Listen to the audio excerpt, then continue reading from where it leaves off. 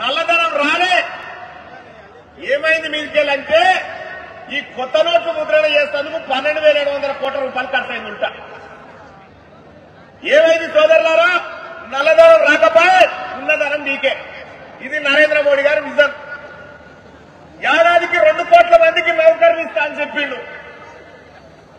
నౌకర్లు ఎడిపోయినాయో ఏమైందో తెలియదు